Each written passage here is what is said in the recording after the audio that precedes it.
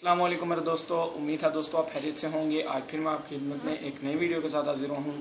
اور آج کی ویڈیو سٹارٹ کرنے سے پہلے میں آپ سے ریکویسٹ کرنا چاہتا ہوں کہ اگر آپ چاہتے ہیں کہ میں آپ کے آپ مجھے کوئی ٹاپک بتائیں، میں اس پر ویڈیو بنا دوں، جس جس حد تک ہو سکے میں آپ کو اس ویڈیو کا رپلائی ضرور دوں گا اور ویڈیو بناؤں گا۔ تو آج کی میری ویڈیو ہے کہ اگر آپ کے اصیل مرغے یا دیسی مرغے کو چیچک ہو جائے تو اس کا علاج کیا کرنا ہے؟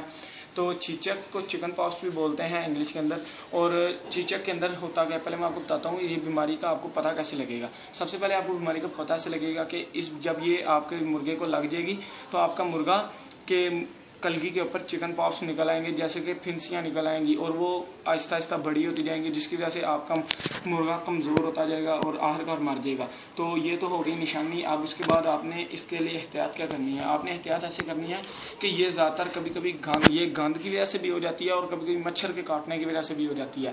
تو اس کے لیے میں نے جو اپنا طریقہ آزمایا، آپ کیا کرو اگر آپ کے مرغے کو چیچک ہو جائے تو اس کو کچھ میرے بھائی ہوتے ہیں، کھڈا رکھا ہوتا ہے، اندر چھ چھ سات سات دن یا بارش آ جائے، کبھی تو اندر چکڑ ہو جاتا ہے، کبھی کبھی کھڈے کے اندر پانی چلا جاتا ہے، جس کی وجہ سے بدبو پیدا ہو جاتی ہے یا مچھر کے کاٹنے کی وجہ سے، ان دو وجوہات کی وجہ سے مرغے کو چیچک ہو جاتی ہے۔ تو جب اس کو ہو جائے، اس کو الگ رکھ دے، کیونکہ یہ پھیلنے والی ہے، بیماری یہ بھی دوسرے چوزوں کو بھی لگ جاتی ہے۔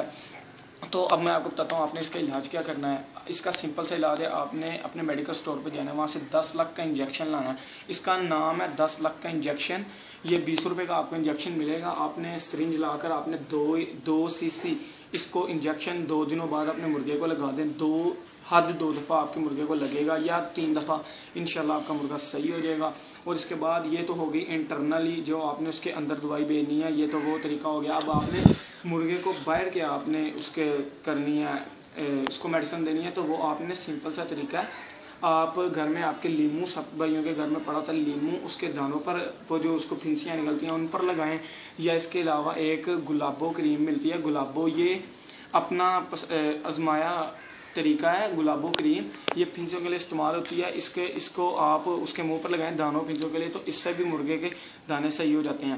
تو امید ہے دوستوں آپ کو میری ویڈیو پسند آئی ہوگی۔ تو اگر آپ کو میری ویڈیو پسند آئی ہے تو میرے چینل کو سبسکرائب کر دیں، اس ویڈیو کو شیئر کر دیں اور لائک کرنا مت بھولیے گا۔